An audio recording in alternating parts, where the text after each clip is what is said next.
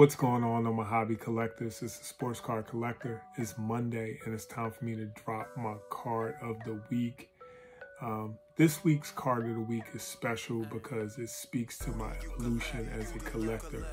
Um, literally, my commitment to truly explore the history of cards and, and take that deep dive back and, and just find cards that are 100 years old. And um, to have a card like this in my collection um, just shows my maturation and my growth as a collector.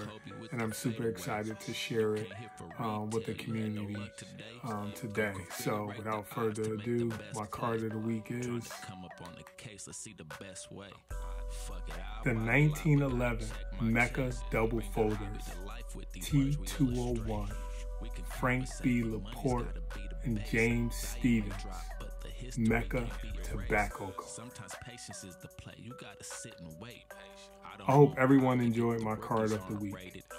As I said before, cards like this speaks to my evolution and growth as a collector. Cards like this allow me to stay curious about this space.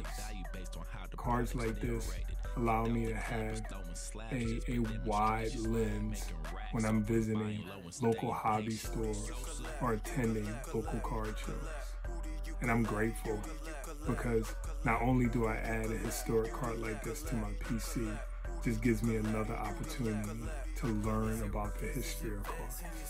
So, as always, keep collecting. It's all about the hobby experience. Every card has a story. Until next time, it's the Sports Card Collector. I'm out. Take care. Peace. Is it rookie? Is it vets? I feel trading cards from the 1800s are the best.